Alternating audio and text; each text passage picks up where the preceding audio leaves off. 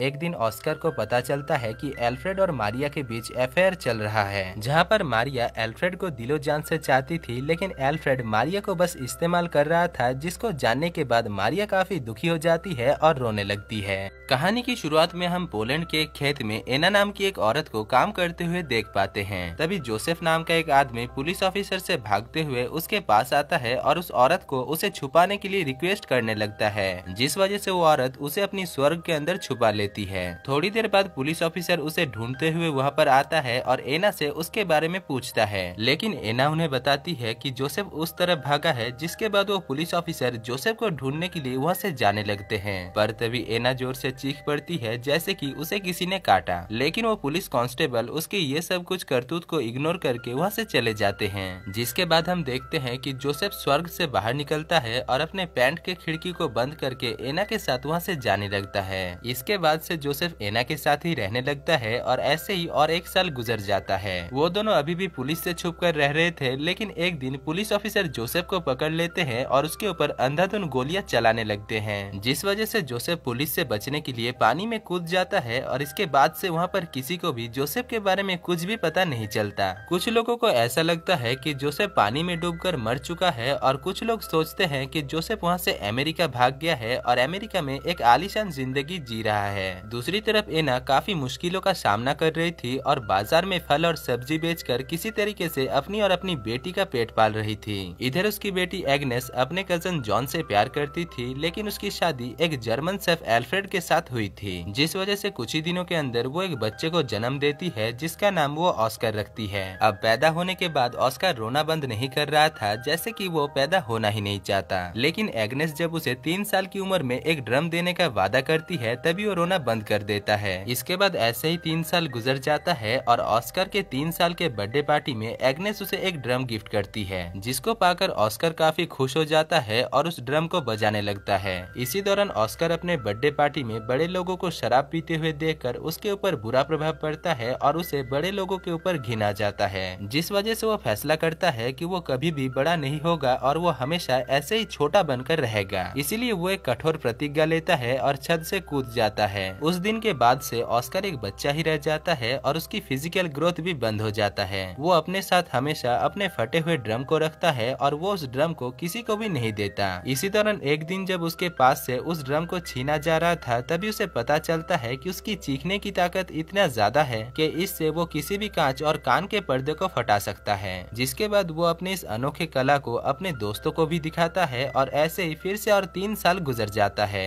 Oscar अभी छह साल का हो चुका था पर ऑस्कर अभी भी उस ड्रम को अपने से दूर नहीं रखता था। और कोई भी अगर उससे उस ड्रम को छीनने की कोशिश करता था तो वो चीख कर शीशे को तोड़ देता था। दूसरी तरफ़ उसके माता और पिता बस यही सोच रहे थे कि ऑस्कर बड़ा क्यों नहीं हो रहा है। एग्नेस हर मंगलवार को ऑस्कर को लेकर शहर जाती है, जहाँ पर वो ऑस्कर को एक दुकान में छोड़कर जॉन के साथ मंगलवार में मंगल कार्य करने के लिए जाती है। लेकिन एक दिन ऑस्कर अपने माँ को जॉन के साथ मुँह काला करते हुए देख लेता है। खैर, इसके बाद फिर से और कुछ साल गुजर जाता है और ऑस्कर जब 12 साल का हो जाता है, तभी उसके माता पिता उसे एक दिन सर्कस दिखाने के लिए लेकर जाते हैं। वहाँ पर काफ़ी सारे बौने लोगों को देखकर ऑस्कर के माता पिता को लगता है कि शायद ऑस्कर भी एक बौना बच्चा है, इसलिए वो बड़ा नहीं हो रहा है। अब शो के खत्म होने के बाद ऑस्कर वाइग्रा नाम की एक बौने आदमी से मिलता है, जो कि ऑस्कर को देखकर समझ जाता है कि ऑस्कर उसी की तरह ही एक बौना है। साथ ही साथ वो ऑस्कर की कांच तोड़ने वाली अनोखी पार को भी देखता है, जिसको देखकर वो ऑस्कर को उसके साथ सर्कस में काम करने के लिए कहता है। दूसरी तरफ़ ऑस्कर के माता पिता जब ऑस्कर को वाइग्रा के साथ बात करते हुए देखते हैं, तभी वो लोग काफ़ी परेशान हो जाते हैं। इसके बाद हमें पता चलता है कि सेकेंड वर्ल्ड वॉर शुरू हो चुका है और पोलैंड में नाजी जर्मन सेना धीरे धीरे आ रहे हैं और वो लोग ज्यूस लोगों के ऊपर टॉर्चर कर रहे हैं। इधर एग्नेस ऑस्कर को जिस दुकान पर छोड़कर जाती है, उस दुकान का मालिक मार्कस एक ज्यूस था और वो एग्नेस को पसंद भी करता था, इसलिए वो एग्नेस को उसके साथ लंदन चलने के लिए कहता है, लेकिन एग्नेस उसके साथ जाने से मना कर देती है और अपने घर वापस आ जाती है। इसके बाद से एग्नेस ऑस्कर को लेकर काफ़ी परेशान रहने लगती है और डिप्रेशन में ज़्यादा से ज़्यादा मछलियाँ खाने लगती है, जबकि मछली खाने से उसे सख्त एलर्जी थी। इसी दौरान हमें पता चलता है कि एग्नेस जॉन के बच्चे की माँ बनने वाली है, लेकिन वो इस बच्चे को लेना नहीं चाहती है।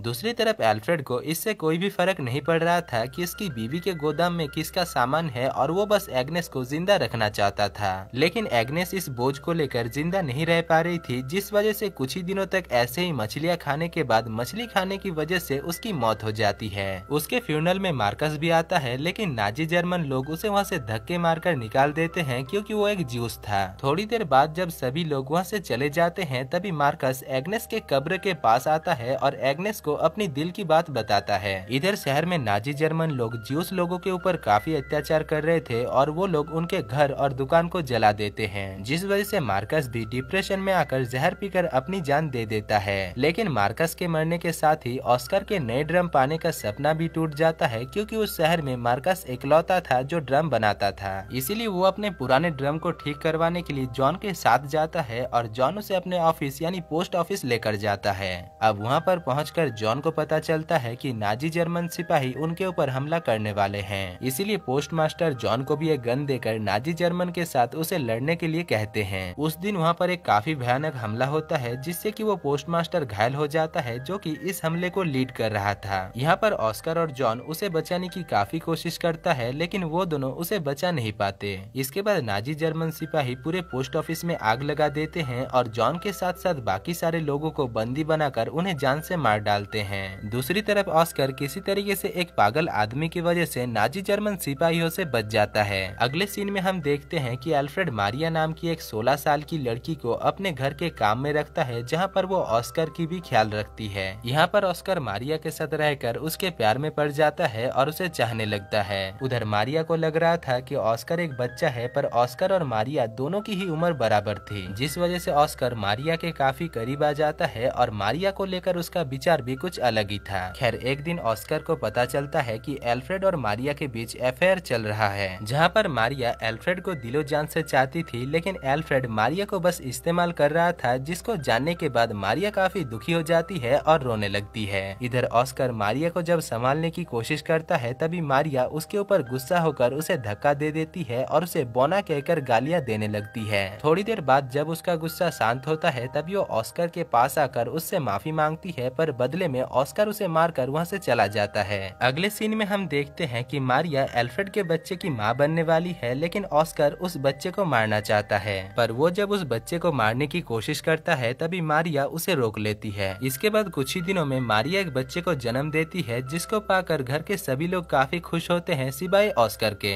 यहाँ पर हमें पता चलता है कि ऑस्कर को ऐसा लग रहा था कि वो बच्चा उसका है, इसीलिए वो उस बच्चे को काफ़ी प्यार और दुलार देता है, जैसे कि वो उस बच्चे का पिता है। दूसरी तरफ़ ऑस्कर की पड़ोसन लीना अपने पति से खुश नहीं थी, क्योंकि उसका पति एक गे था, और वो अपनी बीबी से ज़्यादा नाजी जर्मन लड़कों के साथ वक्त गुजारता था। पर एक दिन जर्मन लोगों ने उसे नाजी जर्मन लड़कों के साथ गलत काम करते हुए देख लिया और सजा के तौर पर उसे जान से मार दिया गया। इधर ऑस्कर का दोस्त भाईग्रा सेकेंड वर्ल्ड वॉर के वक्त नाजी जर्मन सिपाहियों के लिए काम कर रहा था। इसीलिए वो ऑस्कर को भी उसके साथ काम करने के लिए पेरिस चलने के लिए कहता है, जिसके बाद से ऑस्कर वाइग्रा के साथ नाजी जर्मन लोगों को एंटरटेन करने का काम करने लगता है। और इसी दौरान वो रोज लेती नाम की एक लड़की से प्यार भी करने लगता है, जो कि दरअसल उसी की तरह ही छोटा पैकेट और बड़ा धमाका थी। अब ऑस्कर की वहाँ पर काफ़ी अच्छी तरीके से कट रही थी, लेकिन तभी एक दिन अमेरिकन सोल्जर उस जगह पर हमला करते हैं और इस हमले के चलते रोज लेती की राम नाम सत्य हो जाता है और ऑस्कर के पास से उसका इकलौता प्यार भी छिन जाता है। इसके बाद ऑस्कर फिर से अपने घर वापस आता है, जहाँ पर वो मारिया के तीन साल के बेटे को एक ड्रम गिफ्ट करता है, जैसे कि उसे बचपन में उसकी माँ ने दिया था। यहाँ पर मारिया ऑस्कर को पसंद नहीं कर रही थी और ऑस्कर के वापस आने पर उसे थोड़ा भी अच्छा नहीं लग रहा था। लेकिन एल्फ्रेड ऑस्कर के आने पर काफ़ी खुश था क्योंकि बाप तो बाप ही होता है। दूसरी तरफ़ शहर में चारों तरफ़ दंगे फसाद चल रही थी क्योंकि इस वक्त सेकेंड वर्ल्ड वॉर काफ़ी जोरों शोरों से चल रहा था और नाजी जर्मन सिपाही आम जीवस लोगों के ऊपर टॉर्चर करके उन्हें जान से मार रहे थे। जिस वजह से एल्फ्रेड अपने फैमिली के साथ साथ लीना को लेकर पूरा दिन बेसमेंट में छुपा रहता था और सिर्फ़ रात में ही खाने की तलाश में बाहर आता था। पर एक दिन कुछ नाजी जर्मन सिपाही उन लोगों को ढूंढते हुए बेसमेंट के अंदर आ जाता है और लीना के साथ ज़बरदस्ती करने लगता है। साथ ही साथ वो लोग एल्फ्रेड को भी उसका परिचय देने के लिए कहता है, लेकिन एल्फ्रेड उनसे झूठ कहता है और वो कहता है कि वो नाजी जर्मनी है। पर उन लोगों को एल्फ्रेड की बातों पर विश्वास नहीं होता और एल्फ्रेड के हुतिया हरकत करने पर वो लोग एल्फ्रेड को जान से मार डालते हैं। अगली सुबह मारियस नाम की एक जूस आदमी एल्फ्रेड के दुकान पर आता है, जिसको उस जगह का नया मालिक बना दिया गया है। एल्फ्रेड के दुकान को अपने हाथ में लेने के बाद मारियस ने ही एल्फ्रेड के फ्यूनल को संभाला, क्योंकि उसकी बीबी और बच्चे भी एक एक्सीडेंट में मर गए थे और वो अपने को खोने का दर्द जानता था। अब एल्फ्रेड के फ्यूनल पर ऑस्कर को एहसास होता है कि वो पूरी तरीके से अनाथ है, इसलिए उसे फिर से बड़ा होना होगा। जिस वजह से वो अपने ड्रम को उस कब्र में फेंक देता है और तभी एक बच्चा उसके सर पर एक पत्थर मारता है, जिससे वो वहीं पर ही बेहोश हो जाता है। थोड़ी देर बाद एक आदमी ऑस्कर को चेक करने के लिए आता है और उसे चेक करने के बाद उसे पता चलता है कि ऑस्कर फिर से बड़ा होने लगा है। जबकि मैगी बनने में भी दो मिनट का वक्त लगता है, पर उस आदमी को सब कुछ पता था। खैर इसके बाद अगले सीन में हम देखते हैं कि ऑस्कर मारिया के साथ उस देश को छोड़कर जा रहा था। और इधर एना, जो कि अभी काफ़ी बूढ़ी हो चुकी थी, वो वहीं पर ही रुक जाती है। यहाँ पर ऑस्कर चिल्लाकर ट्रेन को रोकने की कोशिश करता है, पर तभी उसे पता चलता है कि उसके बड़े होने के साथ साथ वो अपने चिल्लाने की आवाज़ से कांच तोड़ सकता था, वो शक्ति भी उसकी चली गई है, और दोस्तों इसी के साथ ही इस मज़ेदार मूवी की कहानी खत्म हो जाती है।